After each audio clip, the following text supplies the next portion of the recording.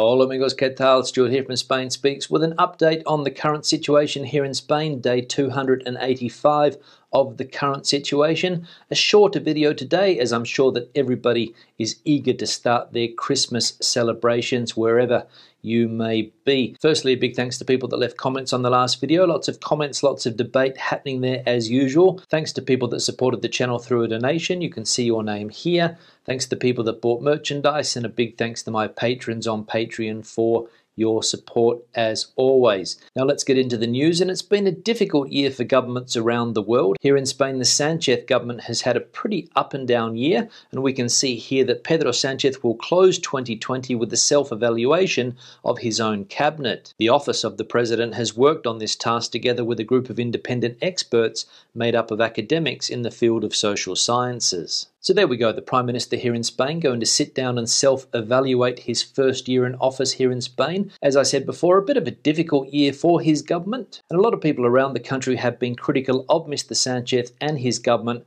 for a lack of transparency. And according to one political scientist, Victor Lapuente, Spanish politicians see transparency as a hindrance. The political scientist advocates law of direct access to public information instead of mediating bodies between citizens and the administration. On December the 10th, 2013, and in response to a social demand spurred by the economic crisis and corruption, Spain approved the law on transparency, access to public information, and good governments, a milestone to reinforce the right of citizens to access to the activities of the administration, which had always been very opaque. Seven years later, the law has not fulfilled its objectives, and knowing the activities of the different governments continues to be a Herculean task. And when asked the question if in access to information Sweden is a 10, what score would Spain obtain? Mr. Lapuente said a 6 is being very generous. So transparency is still a problem in Spain, even after passing that law back in 2013 to make the country more transparent, and the government seemingly still reluctant to share vital information with the public. But I'm sure this is a topic that will be addressed when the government self evaluates itself next week. Now, as I mentioned yesterday, the COVID 19 vaccines have rolled out of warehouses in Belgium and are on their way to Spain, and the first vaccination against the coronavirus in Spain will be in a residence for the elderly in Guadalajara. More than 4.5 million doses of Pfizer's vaccine will be distributed to the whole of Spain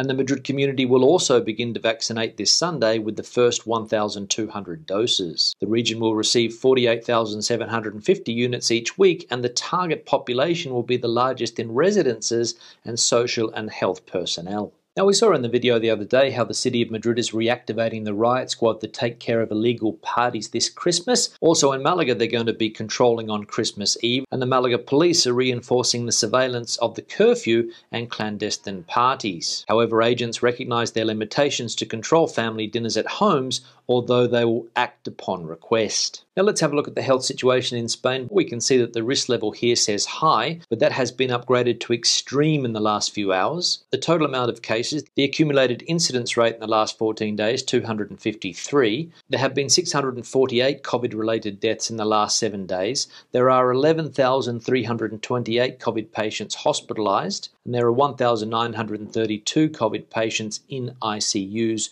which is just over 20% of all ICUs in Spain. Now, it's probably a bit of an understatement to say that 2020 has been a bad year. Not many people were expecting the pandemic and the effect that it has had on countries around the world, but people are now looking to the future, and one Spanish economist has said what he thinks our world will be like after the coronavirus. We must rethink sectors, attitudes, and investments, says Professor Gay de Liebana. It is necessary to become aware of and adapt to the new economic environment due to the coronavirus crisis and digitalization, warns Professor Gay de Liebana. We must rethink social industry, explains the economist, the sectors most hit by the virus. But we have to look further and think about the training, the skills we have with over overqualification and under ability to work and all of this without forgetting the investment in technological capital. So we must become aware of and adapt to the new economic environment. Now, 2020 has also been a big year for the royal family here in Spain. We know that the former king was under pressure because of his dodgy finances, and that eventually led to him leaving the country. And this evening, the current king of Spain, King Felipe, is going to address the Spanish public with his traditional Christmas speech. According to one headline, the king will distance himself from the former king Juan Carlos and reaffirm the honesty of the crown. But another newspaper asked the question Should the king mention his father in the speech on Christmas Eve? So there we go, a big day for the king. Should he mention his father? Should he distance himself from his father? I don't know, but all I know is that I will be waiting for that speech with bated breath. Now let's have a look at some of the comments from recent videos. First one here from Mark regards the barbecue. I have to admit that I had a mind blowing experience in Australia with a Dutch oven buried in the ground. Fantastic. And being Dutch, strange that I never knew that there existed a Dutch oven. I was 20. Yeah, Mark, thanks for the comment, and good to see that you had a positive experience down under with a Dutch oven barbecue. To be honest, I'm not familiar with that technique, but I imagine that it also has something to do with slow cooking. But you also have to be careful when using the expression Dutch oven in Australia. I don't know if it's common in other English speaking countries, and if you don't know what it means, I'll let you guys look it up for yourselves on the internet. But all I'm going to say is that I had a mate who was an expert with Dutch ovens, and he's not married anymore. One here from Tom For most teaching posts, the Academy will have a list of places rented by former teachers. This usually involves sharing a flat with other teachers, with each having a bedroom and sharing a kitchen and living room, often in a popular barrio in the centre of the city. With this as a base, you can look for other places maybe little outside the centre. Other than that, you can live quite economically in a pension for a while while you look around. This is what I did when I first came here. Madrid is the place to be when you start off, as this is the place where it's easiest to find work and normally pays better than it does in the provinces. Yeah, Tom, thanks for the comment and thanks for the advice. I know that there is a good network of teachers in places like Madrid that can help you find accommodation. Everybody seems to help each other out when it comes to this type of thing. I remember that I found a place to rent many years ago with the help of another English teacher, and I would also agree that Madrid is the place to start because you can find a lot of work in a city like Madrid, and once you get established, you can start to look around other places around the country, maybe somewhere a little bit more peaceful, a little bit more relaxing, and without the hustle and bustle of a big city like Madrid. One here from Scott Hi, Stuart, and all the watchers. I purchased my flat in Monforte del Cid, Alicante in January 2020 and not been back since. I work in pest control in London, UK. How easy or hard is it to get employment in Alicante in this field? I won't have any mortgage or rent to pay as it's all paid for, so I could take a modest salary. I can speak Spanish to get by and practicing three times a week.